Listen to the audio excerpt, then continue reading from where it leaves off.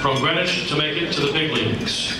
In September 1942, he was called up to the Boston Braves with his roommate, future Hall of Famer Warren Spahn. He batted 1,042, one for one, a pinch single. His manager that season, Casey Stengel. A shortstop early in his career, then a catcher with the Braves, Pittsburgh Pirates, and the Brooklyn Dodgers.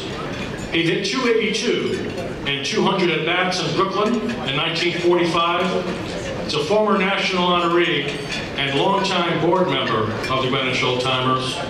And at 99 years young, not only the living, oldest living Brooklyn Dodger, the oldest living major leaguer. Please welcome back Mike Sandlock.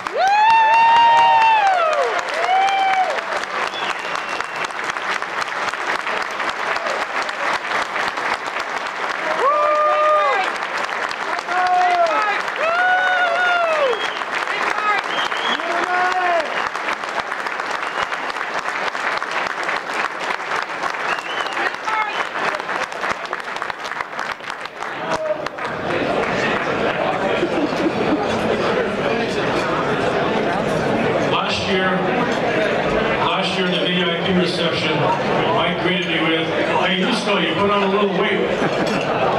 Can say whatever the hell he wants. For 30 years,